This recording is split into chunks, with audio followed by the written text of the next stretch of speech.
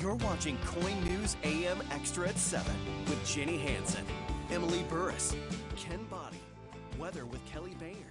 Well, good morning. Hello.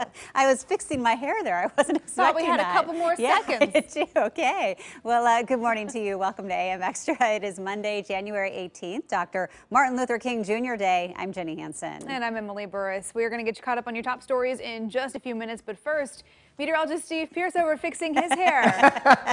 what I have left. Looking good. Uh-huh. He's here for meteorologist Kelly Bayern this morning with a look at our Monday. Hey, Steve. Oh, yeah. Hey, how's it going, ladies? Hope you had a good weekend.